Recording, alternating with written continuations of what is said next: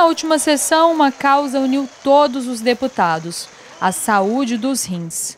Em março, se comemora o Dia Mundial dos Rins. E os deputados aproveitaram a data para chamar a atenção para a importância de políticas públicas voltadas para essa área. A campanha foi liderada pelo deputado Dr. João, primeiro médico a fazer um transplante de rim em Mato Grosso esse sofrimento das pessoas, principalmente no estado de Mato Grosso, onde as pessoas necessitam para fazer uma sessão de hemodiálise andar em torno de 500 quilômetros ou mais.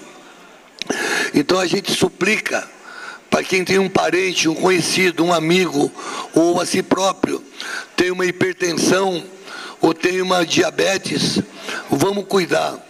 Porque de 80% a 90% dos pacientes que hoje estão numa máquina de hemodiálise para fazer o tratamento, ou eles são diabéticos, ou são hipertensos, ou são as duas coisas.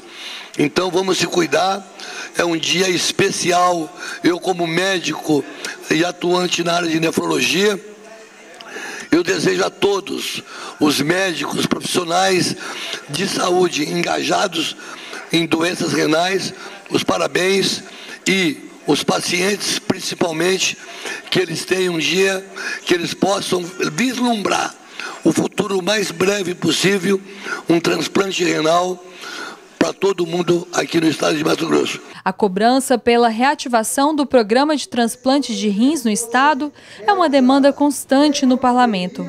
Porém, a preocupação dos deputados com a saúde dos rins envolve também ações mais simples, mas que podem fazer toda a diferença. Colocamos a importância da gente fazer um, um exame extremamente simples, barato, não custa praticamente nada, e que tem, já é disponibilizado é na rede pública de saúde, que é o exame de creatinina, que a gente vê como está a, a filtração renal.